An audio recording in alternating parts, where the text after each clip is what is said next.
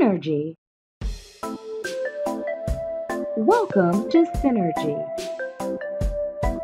Live with Synergy. Live with Synergy.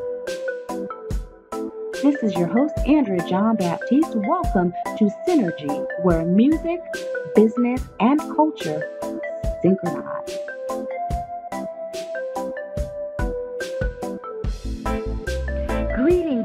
Greetings, friends, family, colleagues, collaborators, audience, guests. Hello, hello, hello, hello. I am Andrea John Baptiste, and this is Synergy, your new drive time favorite talk show where music, business, and culture synchronize. Yes, we're new to WDJY 99.1 FM, and we're excited to spend the next mm, 45 minutes, 50 minutes or so with you living in Synergy, live with Synergy, where music, business, culture synchronize. Today, today is another amazing day. We are on the horn, yes, pun intended, with LeDerrick Horne. And today's show is called Labels Are for Records. And before Mr. Horne joins us or, or, or starts sharing his valuable message, I want you to hear his intro from one of his albums, Black and Blue. And so I'm not going to read you a bio today, but I'm going to let the music, the message play. So we should probably start out by saying that when I was a little kid, I couldn't read, I could, I could barely write, I couldn't spell. I got diagnosed as being neurologically impaired in the third grade, which landed me in a self contained special education classroom. See, I was segregated while being educated. I'm one of the handful of African American males that survived special ed. And eventually I, I made my way to college. When I was in college, I, at first I didn't know how to write a grammatically correct sentence. I couldn't use a comma but I was really fortunate that some folks realized my potential and helped me develop the gift that I'm going to share with y'all right now. I was able to go on and get a degree in mathematics, a minor in fine art, start my own company. But I, I know that it's poetry poetry that has allowed me to inspire, challenge, educate, and inform. LeDerrick, welcome. What an amazing intro. And that's the intro from your album, Black and Blue. Welcome, welcome, welcome to today's edition of Synergy. Andrea, thanks so much for having me. Welcome, welcome. So, you know, as you informed us through that, or you edutained us, right? A combination of education and entertainment. You know, we know that alluded to a lot of the barriers that you've defied. You've surpassed labels and you've proved impossibilities as possible. Tell us more. Get us into details about, you know, that diagnosis you talked about being neurologically impaired. Um, talk about your abilities as well as those experiences um, during you know school. Well, yeah, I um, as I said in the in the intro, I was uh, first diagnosed in the third grade, uh, given this label of, of being neurologically impaired. Uh, later on in my life, it was uh, amended to having a, a learning disability, and it affects my ability to, to spell, to um, uh, to comprehend uh, written, um, and also to do um, math and uh, I, you know, I, I face a lot of challenges going through school, uh, going through special education. But uh, with the of having amazing parents and also some really awesome educators that uh, supported me along the way, I was able to graduate from high school uh, went on to a local county college and was a part of a really great disability support program that taught me what it meant to have a learning disability. I started using accommodations, uh, things like extra time, taking my tests outside the classroom, um, and support for my for my spelling. And I think the the, the big thing was that I had a, a great counselor uh, who told me to just stop worrying about the spelling and write. Um, you know, just go ahead and write, and uh, really took the gloves off for me, and I began writing my first poems. And um, yeah, I've been I've been at it ever since. I have two albums out now. Um, uh, I did very well in college. It took me seven years, three different schools, but I did graduate with honors from New Jersey City University. Um, I got a, actually a degree in mathematics, and I minored in wow. fine art. Yeah, minored in fine art with an emphasis in painting. Um, and that's uh, yeah, that's kind of uh, you know the, the beginning of my journey. I also, when I was in college, I started sharing my story um, of living with a learning disability, of thriving with a learning disability with uh, young people. And um, shortly after graduating, I began to the career that I'm on today. Amazing. So you've defied all odds. I mean, with a great support system, um, you know, certainly proving again that impossibilities are possibilities. And you know um i also teach and one of the things that i always tell my students as they sometimes say you know professor i've been doing this now this degree for four years or six years or something. And i always say to them do you know what? As an employer I don't ask you how long it took you to complete your degree. I'm right. just excited that you have the degree, that you've gone through that process that helps you, you know, to be more skilled, to bring that and share that with my company and my clients. So it's really awesome to hear you say, you know what, it took me seven years, but I got it. yeah, yeah. You know, I remember being, oh, I don't know, maybe I was 23 years old, 24 years old on campus, um, looking around at the uh, campus cafeteria one evening and seeing all these young 17, 18 year old students and feeling like the old man on campus. And uh, so I gave a call to my mother and she listened to me for a while and she said, Look, I was 35 years old, divorced with two kids, working a full time job, going to night school when I got my degree. Right? Mm. You're you're way ahead of the game. Stop complaining. Stop so, complaining. mm-hmm. you know, Good job, also, Mama. Mm-hmm. There it is, right? And then also, if you look at the stats, the the sort of scary stats around um, students with learning disabilities, something like less than two percent of two percent of us actually graduate with uh, with bachelor's degrees. Um, wow. Only about 10 percent of us will step foot on a college campus. Um, so for me to have gotten as far as I have, and, and as far as I, I have gotten now, um, you know, really defying the the, the odds. Um, yeah, so it's it's it may be a race, but it certainly is not a sprint. You know, if anything, it's a mm. marathon. And so um, none of us really need to get caught up on the on the time frame in which we uh, get our education, as long as we get our education. Mhm. I agree with you.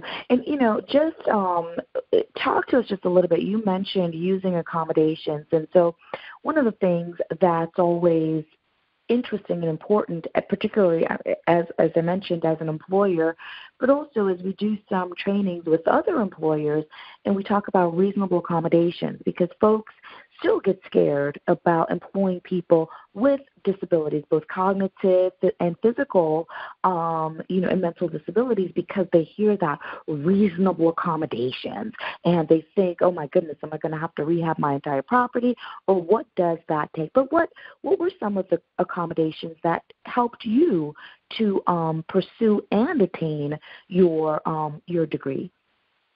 So, you know, there were a handful of things that, in hindsight, I would say were actually very small. Um, and I graduated from high school in, in 1996. So the the PC had at that point become commonplace. You know, we were all uh, connecting on the internet, but technology had really started ramping, up, becoming a big part of people's lives. Um, so I can recall, you know, uh, struggling with writing and writing being ex- an experience that primarily involved will use uh, a word processing program, you know, Microsoft Word, and the little red line, um, to be able to, to recognize that I, I had trouble with spelling. Um, I also got comfortable uh, asking for help and not thinking that I just had to be able to do it all on my own. And so um, initially, I would, I would, uh, if I ever had to submit an essay or any, any work like that, show it to someone and have them read it out loud so that I could listen to it. Um, you know, uh, accommodations in school, like like being able to take my test outside of the classroom because I get very very easily distracted. And so, you know, just having the excess motion of a lot of people in the room sometime will, will um, uh, be an impairment in my test performance. Um, having extra time for a test, that's a big accommodation that you know, a lot of people with uh, learning disabilities need, just a little bit more time. Um, and so, you know, now, uh, you know, out here uh, professionally on my own, I'm using uh, a lot of technology, you know, most of which which is based on my mobile devices, you know, my, my iPhone in particular. Um, so a lot of speech to text, you know, my speaking vocabulary is a lot stronger than my written vocabulary. Um, and then also it's great that if I either if I write something or if I'm trying to read something which is maybe a bit more challenging, um, then I can just uh, do with translating um, you know text with my eyes. Um, you can highlight highlight text on the phone and just ask your phone to speak it out loud. A lot of my reading I'm doing with uh, with audiobooks, and uh, so technology's been a really big game changer. Um, mm. I also had challenge. I also have challenges around you know what we refer to as executive functioning, so just knowing when to start and stop a task. So you know being able to utilize my calendar and setting alarms for myself and alerts uh, all helps me to stay really really productive. Nice, very, very nice. So, you know, you talked about the fact that a professor told you stop thinking about the words or the spelling and the grammar and just write. So that means that, I, or at least I'm surmising that that writing, that poetry, that spoken word was it's kind of always been in you or been been there early on.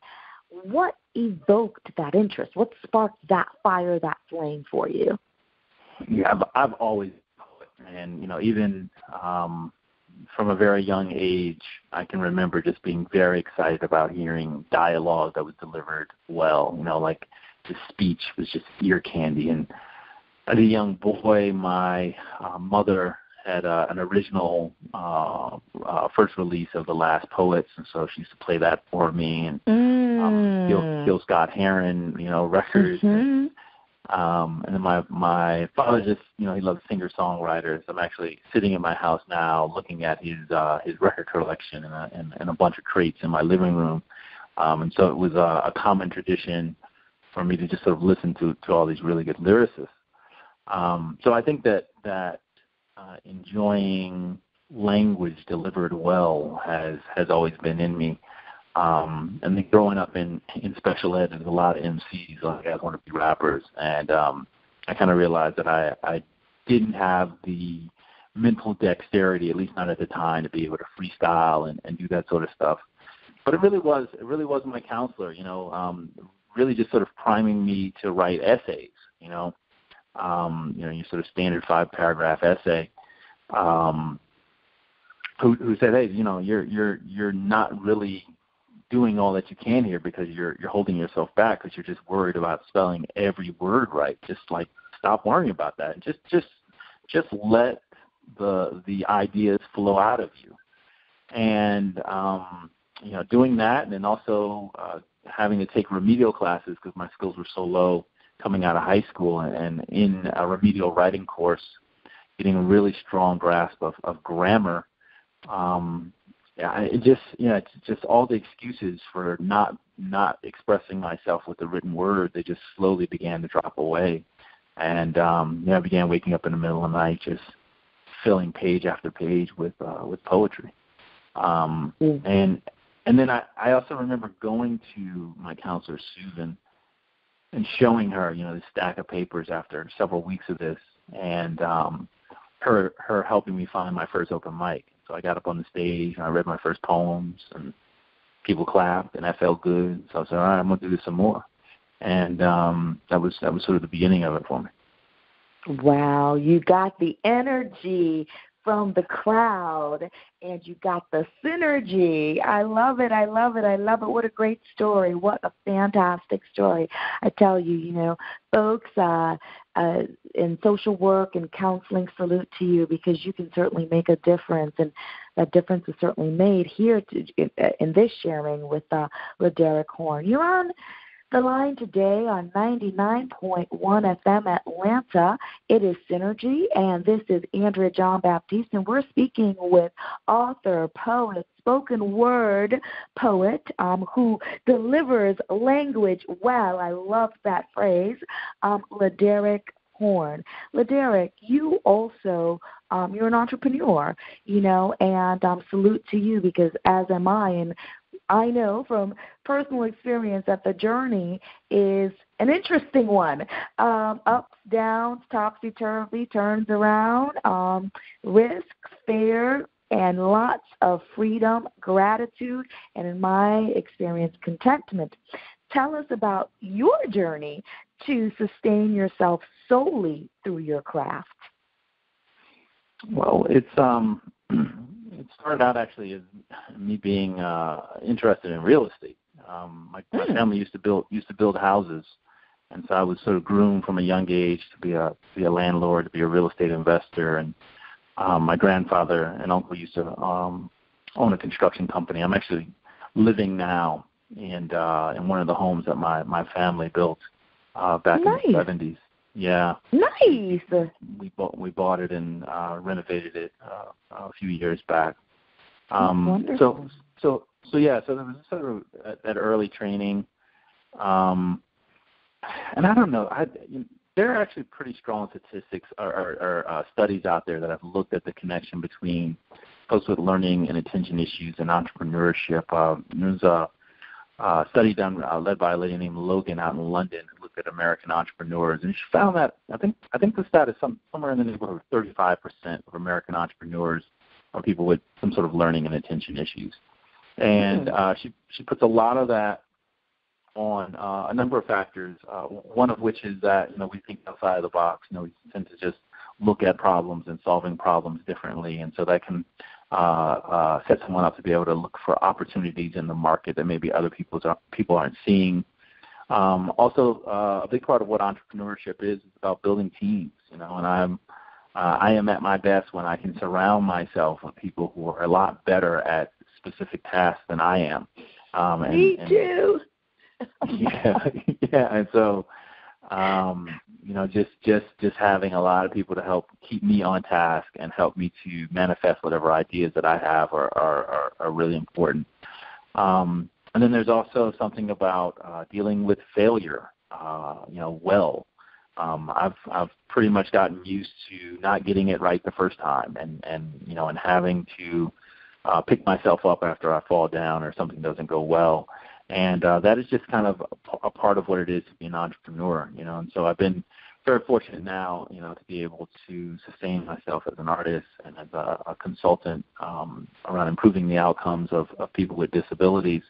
Um, and and yeah, I think it's been a it's been a lifelong journey. I, there's also just a part of me that just wants to be in charge of my own destiny, and mm. um, and and and you know that self determination piece, and just wanting to be very clear about um, setting my own value.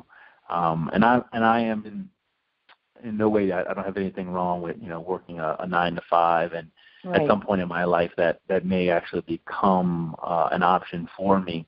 Um, I haven't necessarily ruled that out, but I, for the most part, I've never had a boss. Um, so, uh, and it, it feels pretty good. It feels pretty good. Amen, brother. I do. Well, unlike you, I got a couple of years on you, LeDerrick, but um, I've had a couple of bosses, and let me tell you, my favorite is the one that I have right now. right.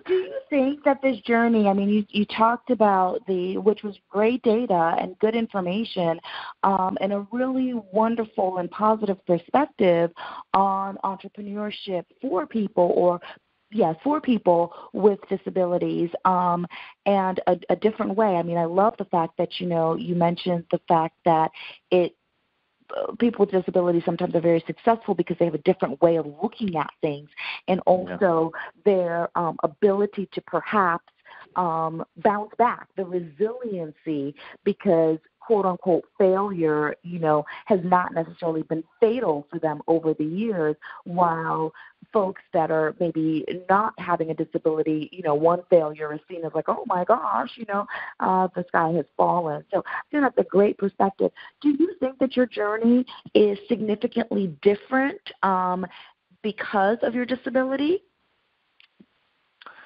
Um, I think so. You know, I, I know that it's um, I have to think that I would be a very different person if uh, if I didn't have the experience of of having a learning disability, of passing through special education in my school district at the time at which I passed through it.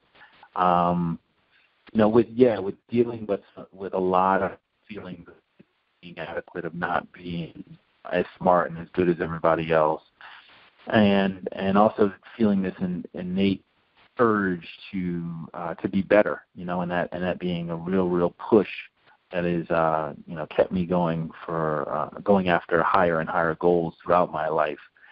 So I think that it's it's definitely it's definitely shaped me to be who I am uh, who I am today. Um, now at the same time, I can say this is that in some ways I've experienced a lot of trauma uh, as, as it relate as relates to having a learning disability in, in our society today. And uh, what I am committed to is making sure that uh, the, the next generations growing up in the U.S. and around the world whose bodies and minds work a little bit differently than everybody else, that they don't feel that same insecurity, that they are given the supports that they need, and they know from from you know from a very early age, those aren't necessarily um, an indication that they're not going to be able to contribute to society or have you know really remarkable lives. So yeah, it's it's it's absolutely shaped me who I am, and I think it's it's put me on a, the trajectory that I am today. Awesome. Good stuff. And, you know, as you talk about students, and it sounds like you're well on your way to leaving a very strong legacy for uh, students, children, the next generation of people with disabilities. Salute to you. There's so much work being done with with children, with students, as we know right now, about social emotional learning, you know, SEL as they call it. What are your thoughts and do you think this will like make a difference in terms of how youth perceive themselves, particularly those, you know, that with disabilities? Do you think it will help them in terms of how they perceive themselves, but also students that are that are um, in the general population, how they may perceive their differently abled peers? What are your thoughts on that? Yeah, I think social more exciting initiatives that are focusing in our today. Um, our young people need a lot of support around self-concept, around being able to regulate their emotions, and, and it's not even young people. I mean, adults. You know, a lot of adults need that support too. Um, and so at, at, a, at, at an early age, we can begin giving our young people those tools, um, helping them to be able to navigate through relationships, navigate through their own emotions, their own feelings. Um, I think it's very, very important. I'm on, on the board of a nonprofit organization called Eye to Eye, and that's E-Y-E, E-Y-E.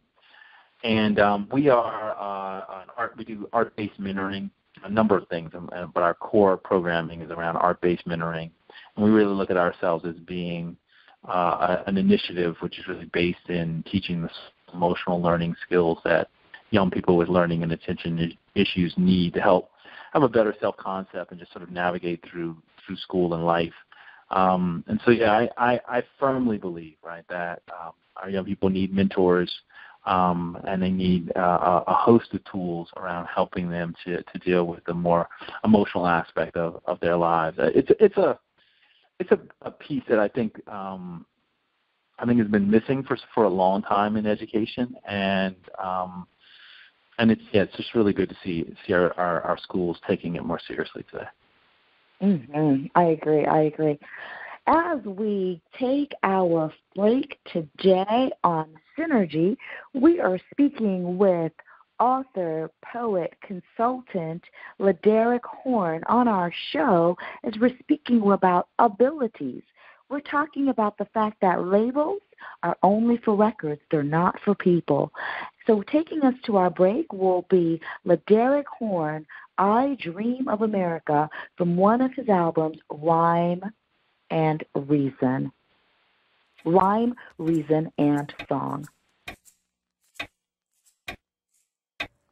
Last night I dreamt of what America could be. A land for the brave, a home for the free, a nation unlike any other where man and woman are sister and brother, and we all live together and get along. It's the unity of a people that makes the nation strong. So, oh yeah, of course, there was an abundance of unity because we were all created and treated equally and endowed by our creator with certain inalienable rights. You should have seen the damn dream that I had last night. It was a capitalist economy, but we all got paid.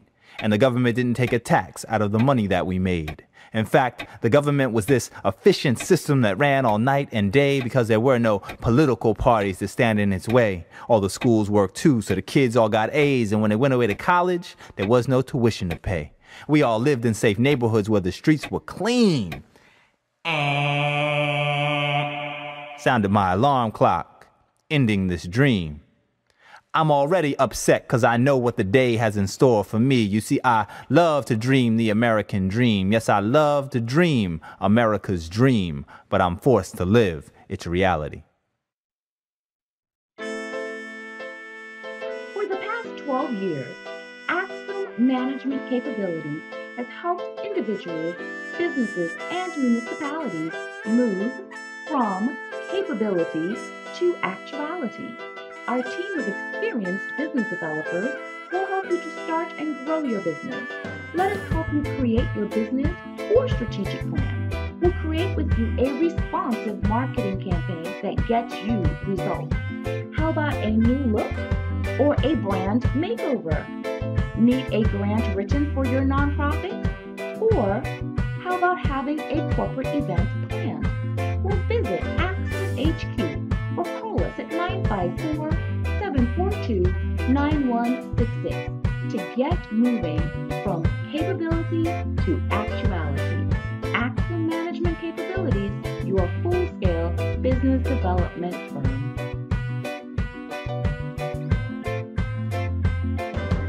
All right, we are back on Synergy with LeDerrick Horne, 99.1 FM Atlanta WDJY. Are you liking what you're hearing? Because we are having real talk about abilities today as we talk about labels being for records, not for individuals.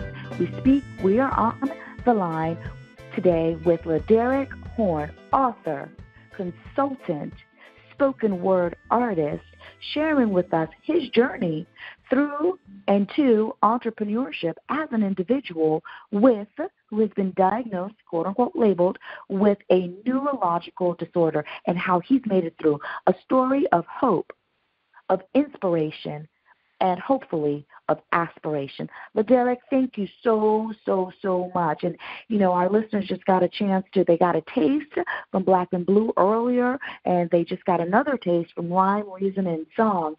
Your CDs are absolutely fantastic. Tell us about that process. How did that come about um, in terms of making this, you know, them come to, to reality and fruition? Oh man, the the uh, well, thank you for the compliment, and I'm very proud of uh, both those albums. Um, the uh, when I was when I was initially going around throughout the, the tri-state area as a young writer, as a young poet, uh, it actually never occurred to me to try to seek out a record deal or to get someone to uh, you know to put me on any kind of label or do anything like that. Um, you know, I had a lot of friends who, who were musicians and, uh, you know, and folks who had recording studios. And so it always seemed like around me there were enough of the pieces, right? Um, and I think, you know, uh, for better or worse, I've always had a, a do it myself uh, mentality. And so, um, yeah, I can remember the, the very first uh, poem I ever recorded is from the, the first album, Rhyme, Reason, and Song, and it's uh, the poem Hand of God and uh, my my buddy, my friend um, and producer Todd Gardner had had made a track, and he's um, really really deep into house music. Um, and and he made a track, and he said, you know, I can hear your voice on it. So uh, I came in and and uh, we recorded this album, and then it it was actually sort of just a side project that I worked on um, throughout the sort of last few years of my my time in college and shortly thereafter. Um, and yeah, slowly, you know, I got enough together where I felt like I had an album which really reflected my work and also just kind of had a bit of atmosphere about about my life.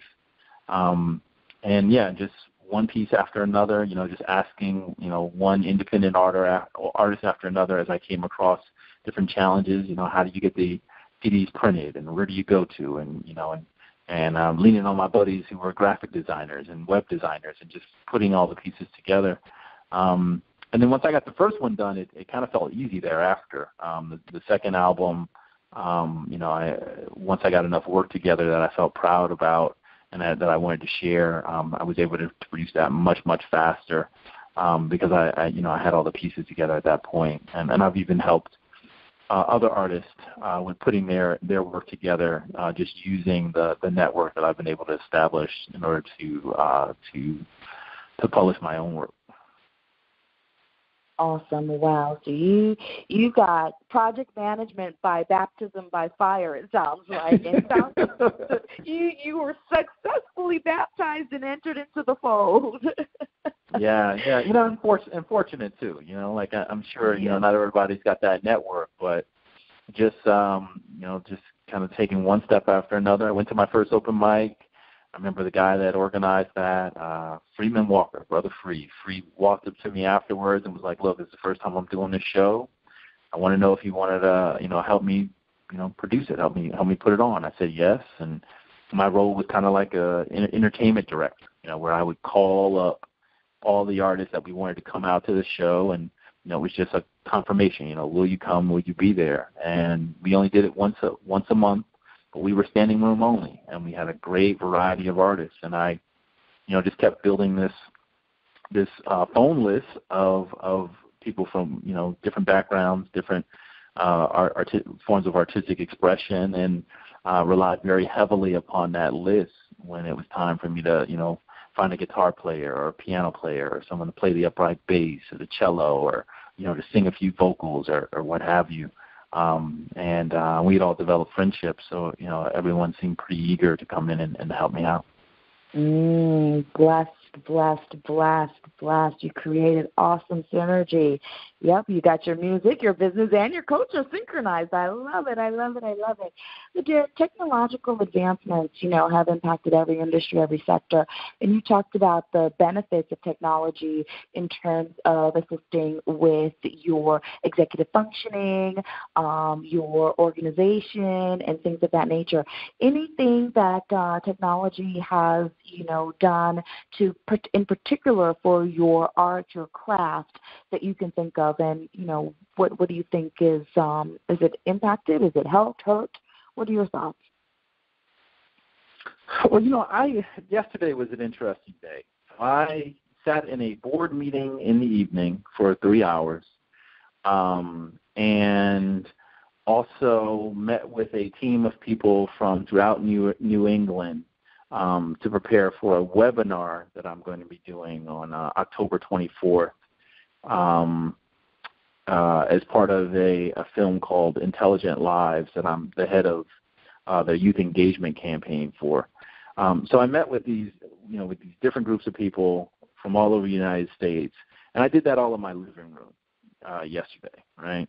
So the ability to like to collaborate and to go to scale now is is really remarkable, you know, just compared to, to what we had 10 years ago.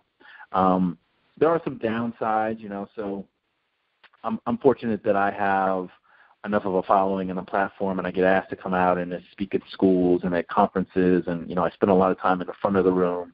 And so I, I, you know, I still like print up physical CDs, and people will, buy those, and I sign them.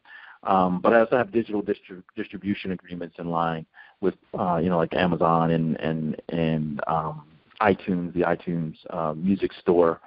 And even just yeah, a decade ago, people used to buy entire albums. You would get an entire download. Um, people were still using the website to to buy physical CDs.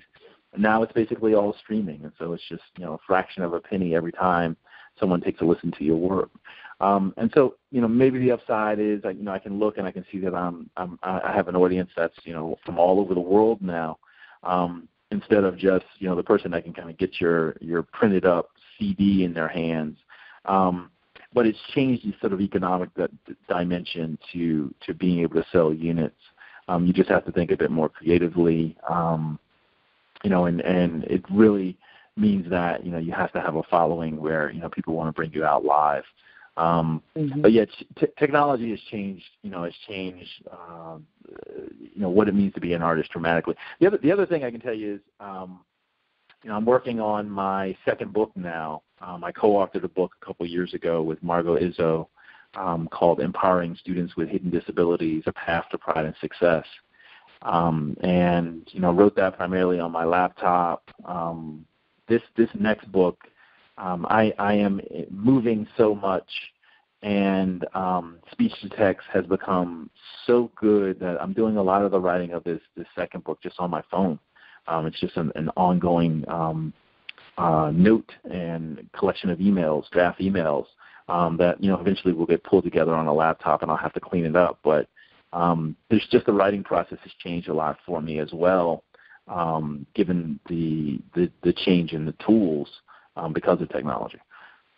Wow, that's that's interesting. That's intriguing to hear. Um, so you're writing your next book on your phone. I think that's pretty pretty cool.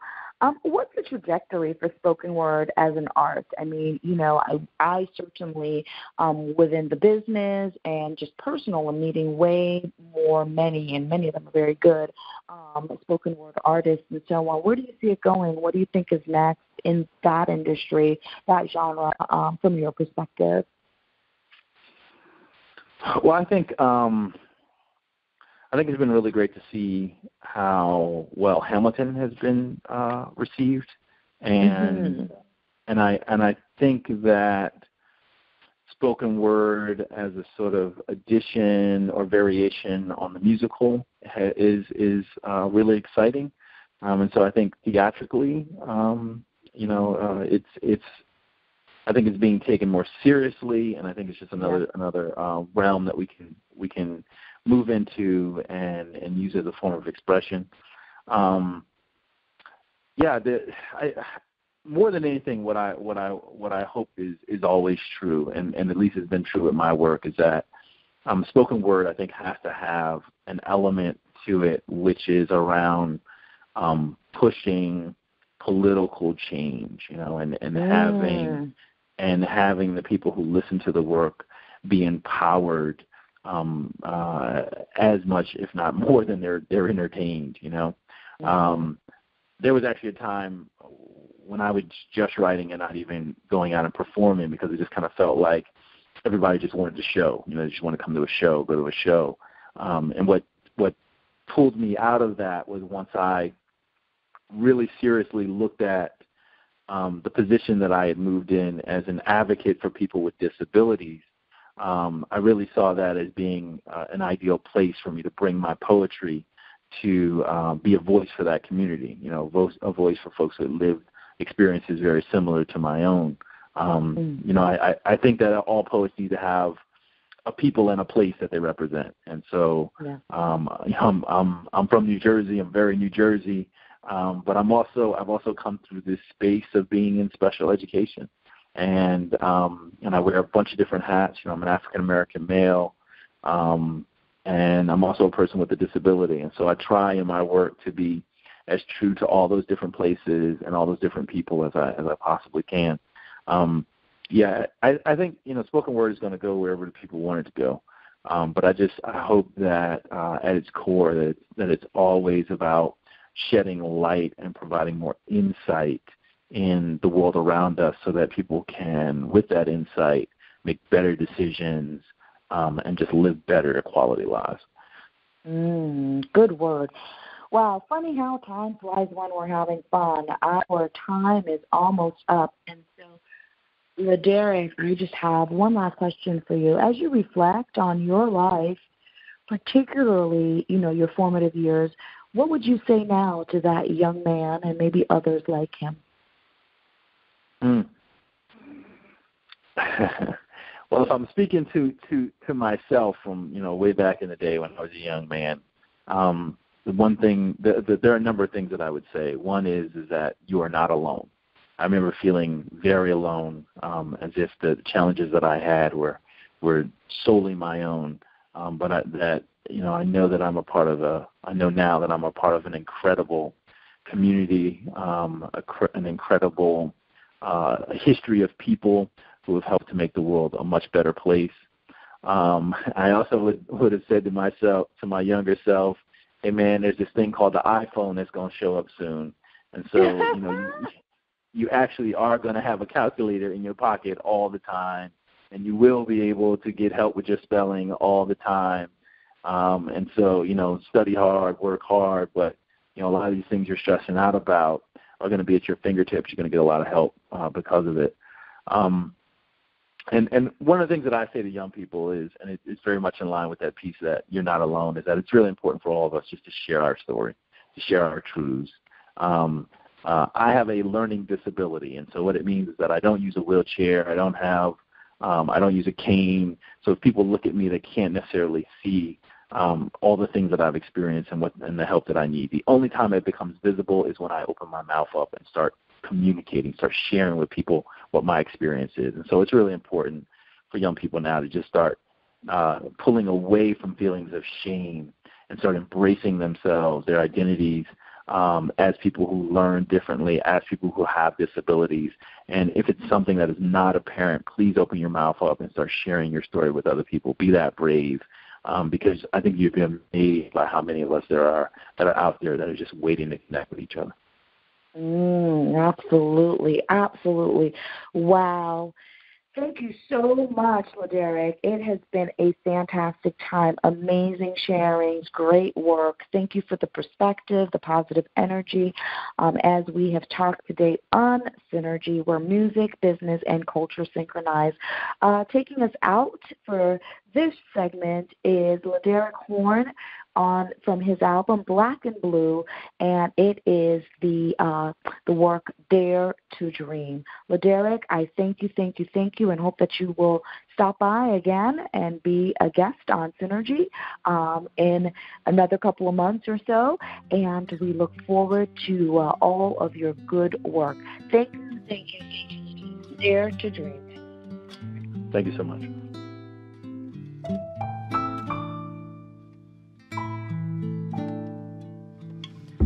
We are gathered here today to bear witness, to bear witness to the union of two beautiful people.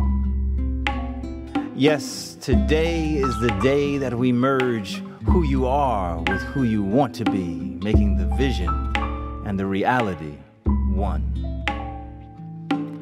An integration born of communication and made tangible by your commitment to yourselves. Now, I know some of you might be a little afraid, but don't let cold feet stop you from jumping the broom, from taking the first step, from beginning a journey that will transform your life. Yeah, I know some of you might be a little afraid, but you see, it's my job to show you that better days are coming. Yes, it's my job to be Harriet Tubman like with my movements and verse. So if I have to steal away just for us to make a way, well then, star, my hand'll be the first one in the cookie jar of self advocacy. I'll use these sticky fingers to pickpocket the pocket of self determination. And if I have to grand theft auto the Mercedes Benz of a quality education, well then they might as well leave the doors unlocked and the key in the ignition. Cause I'm gone in 60 seconds and ain't nothing, man. I mean, nothing gonna stand in my way. And so, I dare you. I dare you to sit out there and not feel moved by the testimony of this brave soul who has come before you as an example of excellence. Yes, I dare you. I dare you to look into the mirror without imagining See yourself as yourself, a diamond that might need a little bit of polishing, but whose beauty has always existed. Yes, I dare you. I dare you to step, bounce, and move to your own rhythm. Excite minds and time will redefine this system. I write lines designed to embrace and kiss, plus supercharged like imports strapped with nitrous. This is a revolution, a fight for inclusion. Segregation is no solution. Brown versus Ed is how I'm proving we deserve the best.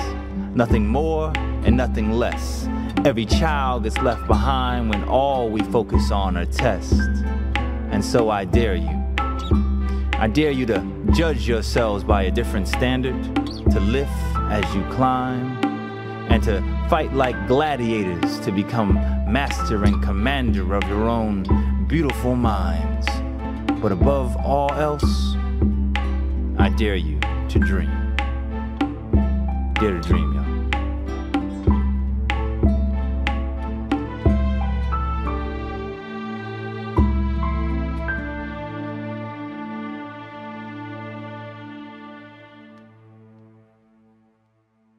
Machel Montano and Alkaline performing live at BRT Weekend Miami, the world's biggest music festival. Now in Miami for the first time ever.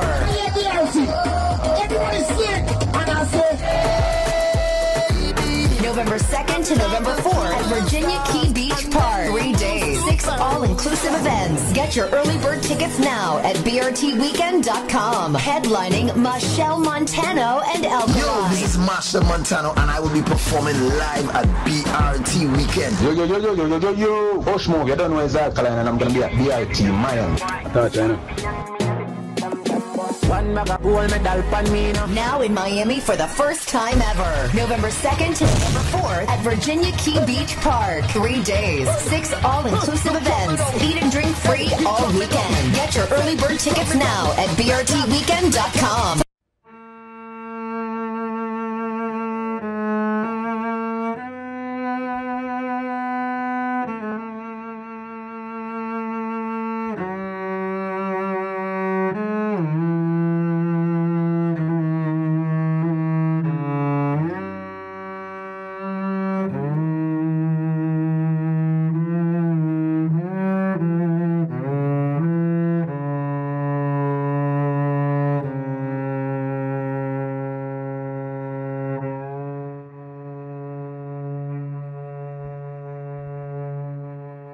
If our firstborn be a girl, let's name her Nina. Let's name her after the woman whose voice filled us, left hope on our doorstep, and made us want to be free.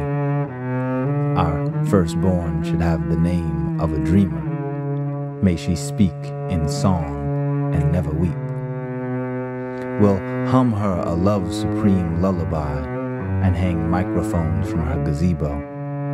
She will know that the dark is nothing to fear, no, nothing to fear. May her hair and eyes be as dark as the night sky she was conceived under. She will be kissed, held close to the truth, and in time she will want the freedom that her parents never knew or saw, but dreamt of as they whispered in the night. Let's embrace her like the sky. We'll wrap her in blue and bathe her in sunlight. Every day we will tell her she is beautiful. And every day we will show her she is beautiful. And as she grows, she will know that she is beautiful, no matter what the television says.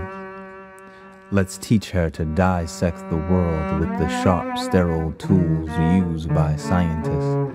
And having soap boxes glued to the soles of her shoes, may she speak of revolutions with a poet's rhythm. And every so often, let's place her at the center of the solar system so she might practice governing the bodies that revolve around her, yes. If our firstborn be a girl, let's name her Nina.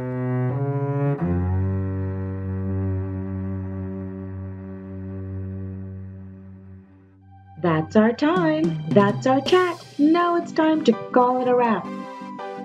Tune in next week at 5 for another episode of Synergy Live, where music, business, and culture synchronize. Until then, hit us up online at livewithsynergy.com. Synergy is a production of Black Iowa TV.